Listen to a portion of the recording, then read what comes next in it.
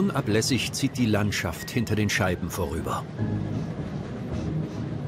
Im rhythmischen Staccato der Räder auf den Schienen fährt der Zug immer weiter Richtung Osten.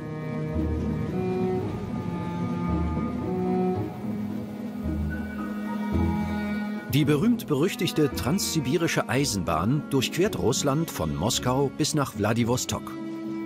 In den Versen des in der Schweiz geborenen Schriftstellers und Weltenbummlers Blaise Cendrars wird sie zu einem bis dahin unbekannten poetischen Raum. Sein Gedicht Die Prosa von der transsibirischen Eisenbahn und der kleinen Jeanne von Frankreich ist die Geschichte eines jungen Dichters, der in Begleitung eines Freudenmädchens vom Montmartre eine Zugreise unternimmt. Eine Irrfahrt, die zwischen Erinnerung und Traum schwankt. Der 1913 veröffentlichte Text mit Illustrationen von Sonia Delaunay bezieht sich auf eine Reise, die den Schriftsteller acht Jahre zuvor durch Russland geführt hat. Damals heißt er noch Frédéric Louis Saussure und ist gerade mal 17 Jahre alt. Seine Eltern sind mit den Leistungen ihres Sohnes an der Handelsschule in Neuenburg unzufrieden und schicken ihn zu einem Schweizer Uhrmacher in Russland in die Lehre. Auf diese Weise entdeckt der junge Mann Moskau.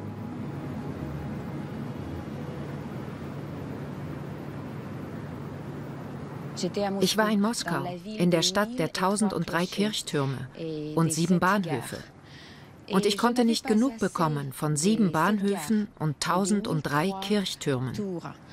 Denn meine Jugend war damals so leidenschaftlich und so verrückt, dass mein Herz brannte wie der Tempel von Ephesos oder wie der Rote Platz in Moskau bei Sonnenuntergang.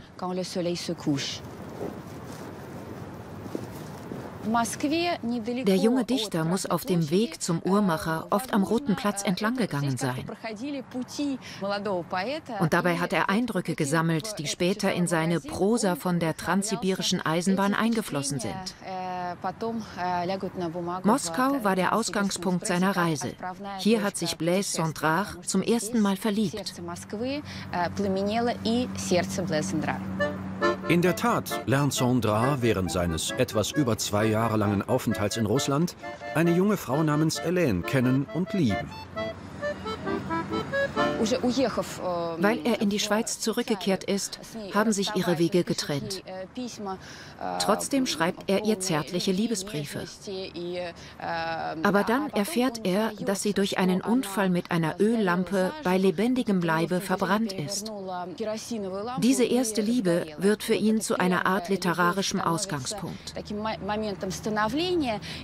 In seinem Werk finden sich verschiedene Anklänge an diese tragische Geschichte в его произведениях.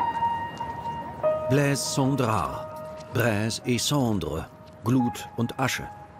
Das Pseudonym des Dichters bezieht sich aller Wahrscheinlichkeit nach auf den Tod seiner Geliebten. Hinter den hohen Mauern des Kreml befindet sich der Kathedralenplatz. Er ist umgeben von den Palästen und Kirchen der ehemaligen Zarenresidenz. Cendrars alter Ego, der Held aus Prosa von der transsibirischen Eisenbahn, ist fasziniert von dieser Stadt. Ihre Architektur ist so ganz anders als die der Schweiz. Cendrars verwendet eine gastronomische Metapher, um den Kreml zu beschreiben. Es ist anzunehmen, dass der junge Bursche im damaligen Russland Hunger gelitten hat. Der Kreml glich einer riesigen Tartarentorte mit knusprigem Goldüberzug. Kathedralen mit großen schneeweißen Mandeln und dem honigfarbenen Gold der Kuppel. Ein alter Mönch las mir die Legende von Novgorod vor. Blaise Cendrars greift hier einen kulturellen Mythos auf, den er auf sich bezieht, die Legende von Novgorod, über die er ein eigenes Buch geschrieben hat. Er hat dieses Werk immer als sein Erstlingswerk bezeichnet, aber stets auf unterschiedliche Weise beschrieben. Mal sagte er, es sei in Prosa, manchmal in Versform. Das Einzige, was sich nicht geändert hat, ist, dass es auf schwarzem Papier mit weißer Schrift gedruckt wurde. Der Titel Die Legende von Novgorod wurde im bibliografischen Verzeichnis manchmal vollständig, manchmal aber auch nur mit den Anfangsbuchstaben LN aufgeführt, was auf den Namen von Cendrars erster Liebe, Hélène, verweisen könnte. Sondra verarbeitet in dem Text die Tragödie und soll das Manuskript an einen russischen Freund geschickt haben, einen geheimnisvollen R.R., der es ins Russische übersetzt und 1909 veröffentlichen lässt. Doch seitdem kreisen Rätsel um das Werk. Hat es jenseits der lebhaften Vorstellungswelt des Dichters wirklich existiert? Bei Sondra verwandelt sich der Kreml in einen unwirklichen, aus der Zeit gefallenen Raum. Ich war durstig und habe die Zeichen der Keilschrift entziffert. Dann flogen plötzlich die Tauben der Heiliggeistkirche auf den Platz und auch meine Hände flogen hoch mit dem Geräusch der Albatrosse. Und dies waren die letzten Erinnerungen an den letzten Tag der allerletzten Reise und an das Meer. Warum taucht hier das Meer auf, wenn er den Roten Platz beschreibt? Er wendet das Prinzip der Simultanität an. Der Blickwinkel öffnet sich mehreren Zeiträumen gleichzeitig. Der Dichter sieht alles zur gleichen Zeit. Manchmal gibt es weiße Tauben auf dem Platz, aber dann gibt es diese Zeile und auch meine Hände flogen hoch mit dem Geräusch der Albatrosse. Was hat ein Albatros hier zu suchen? Diesen Vogel hat einst Baudelaire in die Literatur eingeführt. Seine riesigen Flügel hindern ihn am Gehen, schrieb er. Er vergleicht die Figur des Dichters mit jenem Seevogel, der sich wegen seiner langen Flügel an Land schutzlos fühlt. So beeindruckend die Stadt auch ist, Moskau ist für Sondrar nur der Ausgangspunkt seiner Reise. Die transsibirische Eisenbahn fährt vom Jaroslawl-Bahnhof im Nordosten der Hauptstadt ab. Niemand weiß, ob Sondrar, der sein Leben mit Legenden ausschmückte, den Zug in Russlands fernen Osten jemals bestiegen hat. Aber er ist unbestritten der Erste, der die transsibirische Eisenbahn literarisch verewigt hat. Путешествие на Транссибе eine Reise mit der transsibirischen Eisenbahn hat etwas Mythisches.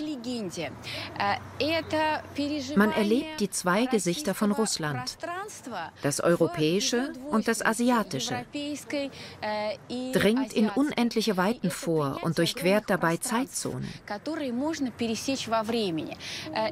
Dies entspricht tatsächlich jener Idee von Simultanität, alles zur gleichen Zeit sehen zu wollen.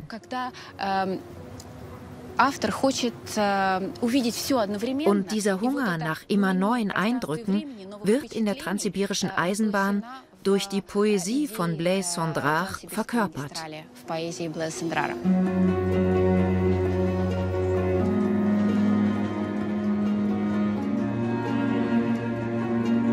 An Bord ist der Reisende tagelang von der Außenwelt abgeschnitten und taucht in eine andere Welt ein.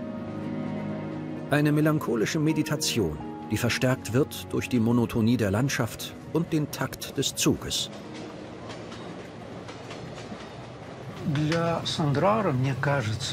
Mir scheint, dass diese klangvollen Geräusche des Zuges überall in Sandras Text zu finden sind. Die Momente, in denen er sich liebevoll an Jeanne wendet, All die zärtlichen Worte, die er erfindet, nehmen in dieser poetischen Partitur einen besonderen Platz ein. Jeanne, Jeannette, Ninette, Nini, Ninon, Nichon, Mimi, Mamour, ma poupoule, mon pérou, Dado, Dondon, Carotte, ma Chouchou, petit cœur, cocotte, chéri petit chèvre, mon petit péché, mignon, concon, coucou. Sie schläft. Der Erzähler Blaise singt hier ein Schlaflied im Rhythmus der ratternden Räder. Mit all den Geräuschen, die darin mitschwingen. Und die Melodie dieses Wiegenliedes folgt der Zugstrecke.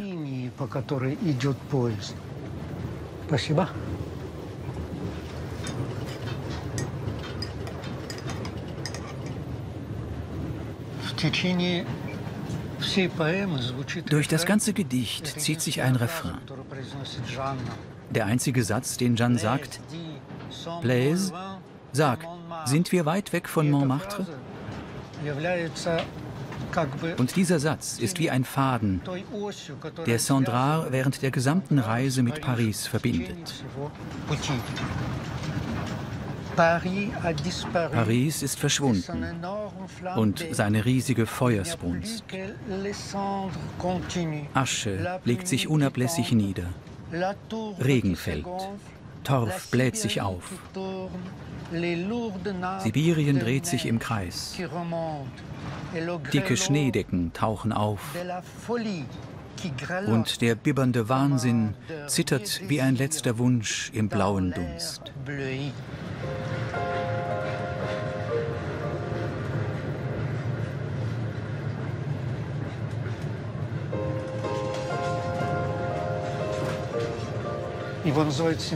Sandra wurde den Symbolisten zugeschrieben, aber vielleicht ist er eher ein Impressionist.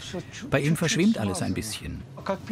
Wie eine vorbeiziehende Landschaft, vor allem wenn der Zug schnell genug fährt und sehr nah an den Bäumen oder einem Berg vorbeikommt.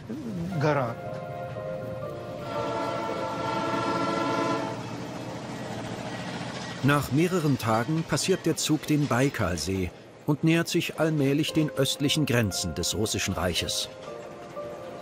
Schmerzhafte Erinnerungen werden im Kopf des Dichters wachgerufen.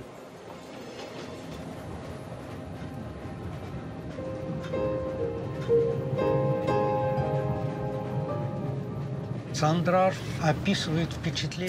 nimmt mehrmals auf die Kriegsgräuel von 1905 Bezug, dem Jahr des russisch-japanischen Krieges. Es gab viele Verwundete und Tote. Sandra erwähnt die amputierten Gliedmaßen und vergleicht den Krieg mit einer Hure. Die Dämonen sind entfesselt. Schrottteile. Alles ist schreiende Dissonanz. Das Ratata-Ratata der Räder. Gegenstöße, wir sind ein Gewitter im Schädel eines Tauben. Schreiender Wahnsinn brüllt in der Lokomotive.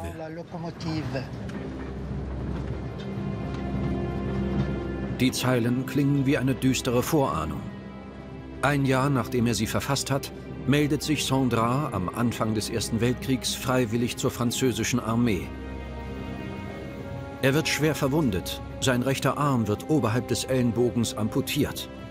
Fortan ist er als der linkshändige Schriftsteller bekannt und hinterlässt zahlreiche Romane, Memoiren, Gedichte und Reiseberichte. Sein Werk über die Eisenbahn jedoch führt den Leser immer wieder auf eine poetische Reise durch die verschneiten Ebenen. Der Zug hatte seine Geschwindigkeit gedrosselt. Und im unablässigen Kreischen der Räder vernahm ich die irren Klänge und das Weinen einer ewigen Liturgie.